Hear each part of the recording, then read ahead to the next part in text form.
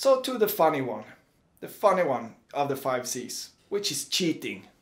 Because it's all about gaming the idea of popularity.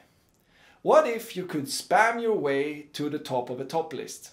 If people would watch this top list and you were number one, who do you think they would blame if they didn't really get what was ranking number one? Do you think they would blame you?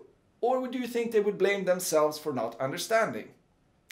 As it turns out, people actually blame themselves for not understanding what ranks number one. So in terms of cheating, what you do is that you use a method called seeding or spamming or, you know, boosting uh, vanity metrics. That thing we talked about in the KPI video. In order to make your stuff seem popular.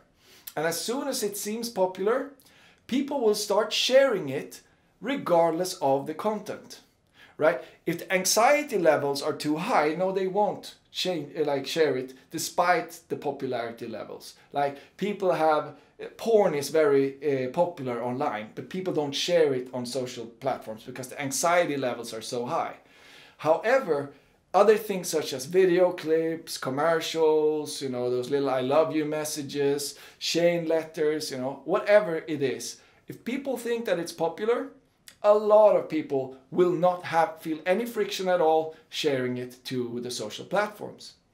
So cheating is all about sort of framing your content using vanity metrics or rankings or something that sort of signals that it is popular.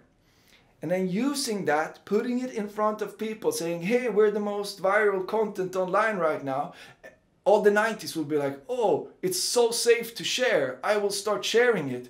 All the 9s will be like, has any one of my friends shared this yet? No, they haven't. I need to be the first one. Boom, you know. So that's the tactic.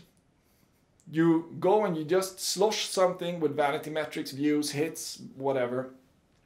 Uh, and then you do PR, meaning you probably pitch a journalist or you, um, you know, buy some advertising saying that you're the biggest buzzing thing right now.